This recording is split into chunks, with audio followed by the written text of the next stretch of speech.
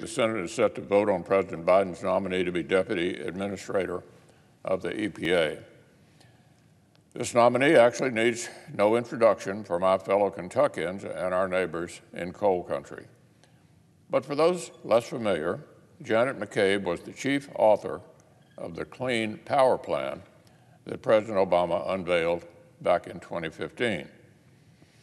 Well, six years and thousands of coal industry jobs later, Ms. McCabe is set to join an administration whose job killing policies would make the Obama EPA blush. Of course, President Biden's war on coal predates his administration. Back in 28, as a candidate for the vice presidency, he insisted there would be, quote, no coal plants here in America.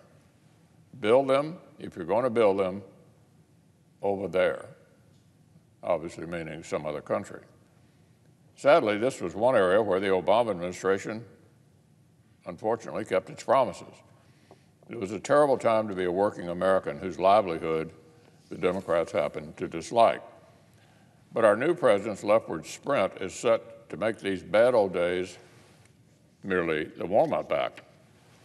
Remember, rejoining the Paris Climate Agreement was a day one priority for this administration. This unenforceable deal, whose own signatories largely ignored their commitments for the past five years, the deal that proved unable to keep China from significantly increasing its greenhouse gas emissions and proved unnecessary for the United States to decrease our own. We decreased our own. But despite it all, the administration is rushing back in to signal virtue on the international stage. Here at home, they're rolling out policy after policy that would cost American families quite dearly. The president signed away thousands of jobs by canceling the Keystone XL pipeline. The authors of the Green New Deal boast about the radical social engineering they've seeded into the administration's legislative proposals. The infrastructure plan they've rolled out would pick winners and losers in auto manufacturing and aim to purge the electrical grid of the most reliable and affordable forms of domestic energy, of uh, domestic power.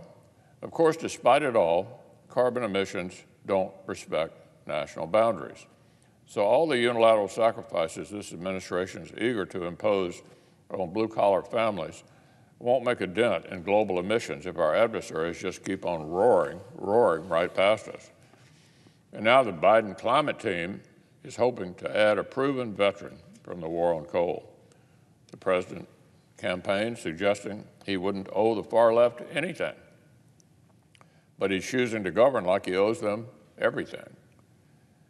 I'll oppose the McCabe nomination and would urge my colleagues to do the same.